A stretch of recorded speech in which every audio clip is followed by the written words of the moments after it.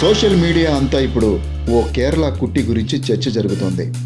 ఆ heroine Priya Prakash warrior అని ప్రత్యేకంగా చెప్పనక్కర్లేదు.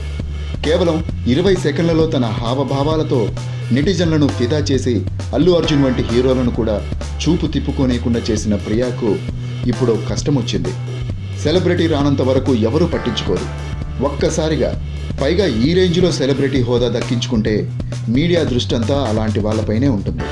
ఇప్పుడు ప్రియా ప్రకాష్ పరిస్థితి కూడా అదే.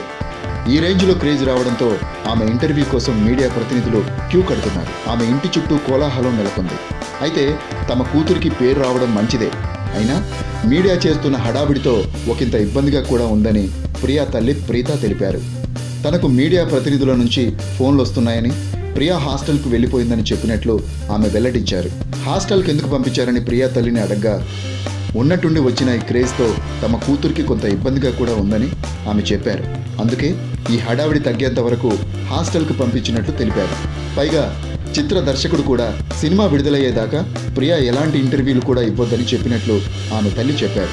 సినిమా కొంత మాత్రమే పూర్తయిందని ఇంకా షూటింగ్ చేయాల్సింది చాలా ఉందని దర్శకుడు తమతో చెప్పాడని ఈ తలనొప్పంతా ఎందుకని ప్రియాను హాస్టల్కి పంపించినట్లు ఆమె తల్లి ప్రీత తెలిపారు. మీకు ఈ వీడియో నచ్చినట్లయితే లైక్ చేసి సబ్స్క్రైబ్ చేయండి. అక్కడున్న గంట సింబల్ని మాత్రం ప్రెస్ చేయడం మర్చిపోకండి.